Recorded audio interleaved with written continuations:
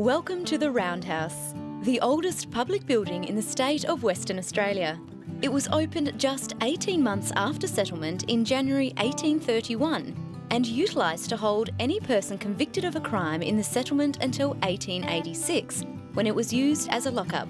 The Roundhouse is a pinnacle attraction in Western Australia. It boasts a rich history and you can certainly feel it when you walk through those doors. So how can you find out more about this Western Australian historical site? In 1998, the Fremantle Volunteer Heritage Group was formed and granted a licence by the Fremantle Council to open the Roundhouse and provide guides to inform and interpret its history to visitors in the Arthur Head precinct.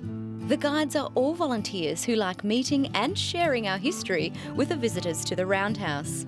Now, if you happen to be at the Roundhouse around 1pm, you may be in for a bit of a thrill. To find out more regarding the Roundhouse, take a look around the website, call them or visit between 10.30am and 3.30pm daily.